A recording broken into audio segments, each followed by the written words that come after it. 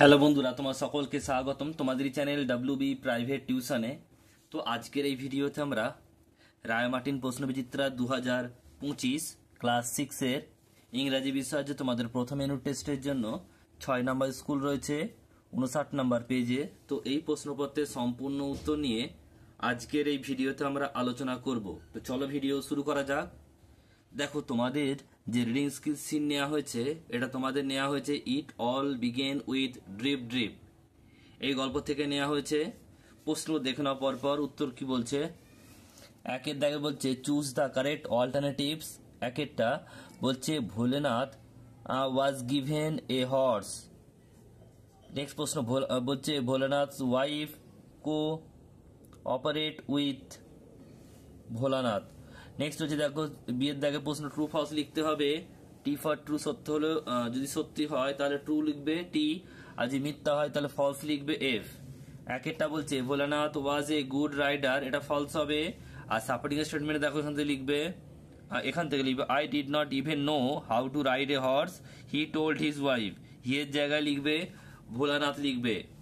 তাহলে এখান থেকে এতদূর লিখবে হিয়ের জায়গায় ভোলানাথ লিখবে।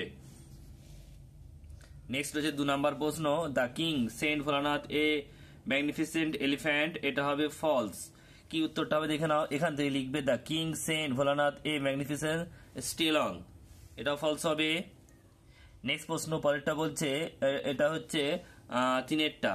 Bholanath was eager to fight for his country এটাও ফলস হবে। উত্তরটা কি লিখবে দেখে নাও। এখান থেকে লিখবে how did I defend our border against eight thousand enemy soldiers তাহলে উত্তরটা সাপোর্টিং স্টেটমেন্টটা ওইটুকু লিখবে। এরপর সি এর দাগের প্রশ্ন কি বলছে দেখো?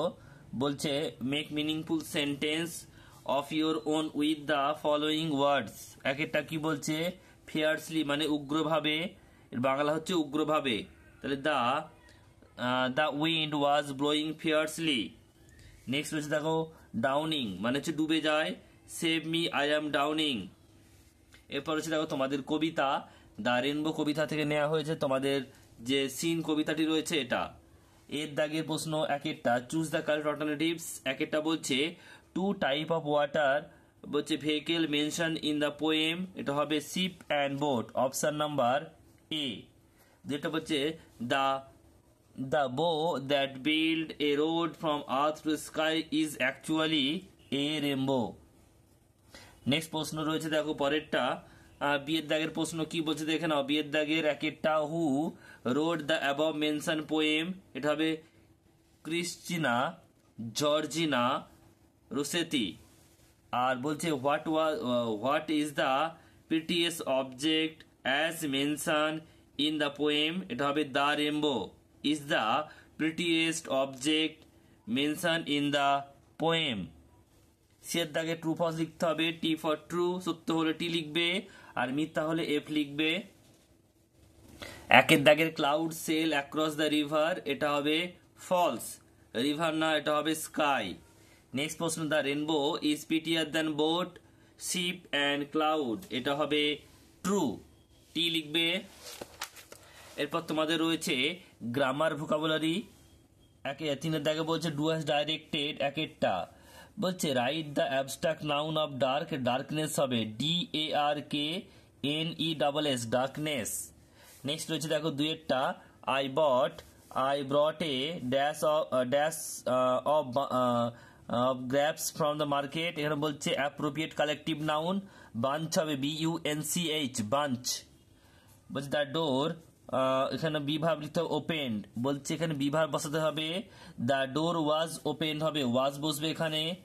নেক্সট প্রশ্ন বলছে make meaningful sentence with the word adventure উত্তরটা উপরে লেখা রয়েছে, দেখে নাও।